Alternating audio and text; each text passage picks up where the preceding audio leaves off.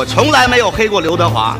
老豆啊，好犀利呀！二零二一年，杨坤在商演时，观众大喊刘德华。视频发布后，立马在网上引发了热议。当时杨坤正准备登台演出，主持人为活跃气氛，带头大喊杨坤的名字。我一定是杨坤，杨坤，杨坤，再来一次。没想到台下的观众却一点面子不给，一直高喊刘德华。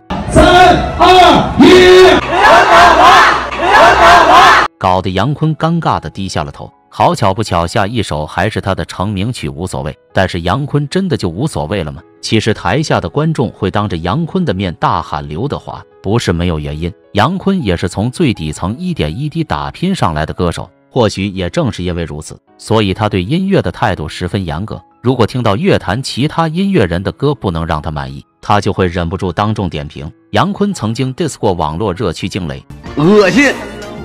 太恶心，这就完全没有任何技术含量，没有任何旋律，没有任何编曲，啥也没有，就给你一惊雷，你们都是傻子呀！当时他评价惊雷的视频曝光后，立马引来无数网友夸赞连连，说他是最敢说的音乐人之一。可能也正因如此，杨坤飘了一下，嘲讽刀郎只能做幕后。可能我觉得刀郎的个性，刀郎的个性其实，他如果站在台上唱歌的话。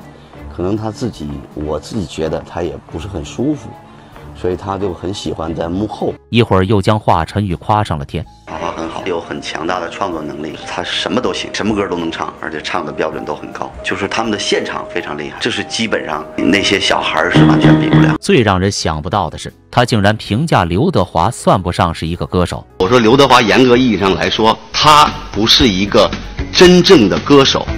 我觉得我说这个话没有任何毛病，你没有看错，这个正在用着鄙夷的语气评价刘德华算不上一个歌手的人就是杨坤。这段视频一经曝光，所有的网友都怒了。要知道，刘德华作为四大天王之一，他的成绩自出道以来大家都有目共睹的。而你杨坤除了有一首无所谓，其他还有什么？他是这么敢如此大言不惭地评价刘德华的。而且这也不是杨坤第一次碰瓷刘德华了。早年在中国好声音的舞台上，杨坤就表示华仔唱歌全靠吼，没有唱功。所以在这次直播事件后，网友们也是新账旧账一起算，直接攻陷了杨坤的评论区，甚至还在他的商演现场大喊刘德华的名字。感受到粉丝怒火的力量，杨坤也立马就怂了，马上澄清说自己是被误会了，说他当时的意思是，他觉得刘德华在电影上的造诣比音乐上的高。而不是说他不是歌手，尽管事后多次找补，只可惜却不能服众。再加上之前他打压刀郎的事，立马在观众心中的地位一落千丈，如今更是变成了过街老鼠，人人喊打。杨坤成名前靠着女友每个月跳舞的钱，被养了整整三年。因为我后来就是靠他养着嘛，他是一个跳舞的演员，每个月一千多块钱，快三年的时候他扛不住了，完了他给我一金链子，我出去我就给当了。我没钱啊，我得生活呀。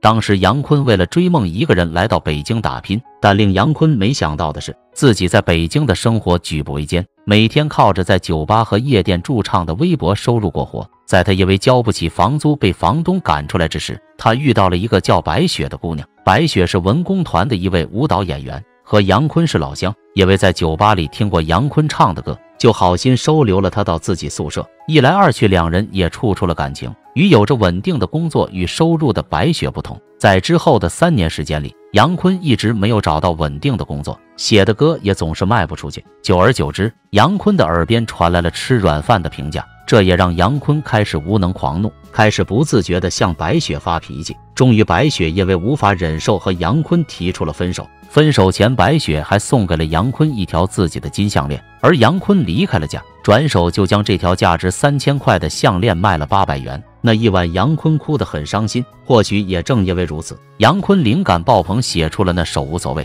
从此一鸣成名，成为了当红歌手。但与白雪之间的感情却再也回不去了。